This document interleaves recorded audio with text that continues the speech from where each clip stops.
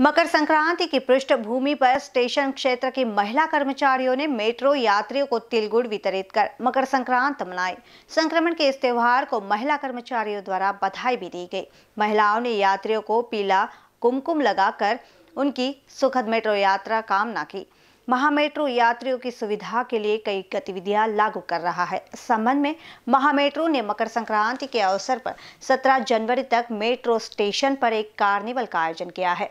इन सभी नई योजनाओं का नागपुर में लोगों ने हमेशा ही अच्छा प्रतिसाद दिया।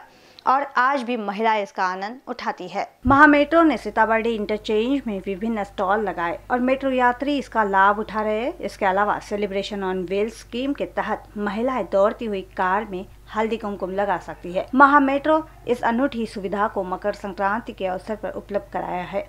इसके अलावा हल्दी कुमकुम कार्यक्रम आयोजित करने के लिए Jaiprakash Nagar, Sitabuldi interchange, Subhash Nagar metro station पर विशेष सुविधाएँ स्थापित की गई है। यह विशेष उपहार महिलाओं के लिए महामेट्रो द्वारा संक्रांति के इस त्योहार के अवसर पर आयोजित किया गया है। नतीजतन महा मेट्रो ने महिलाओं से इस योजना का अधिक से अधिक लाभ उठाने की अपील भी की है।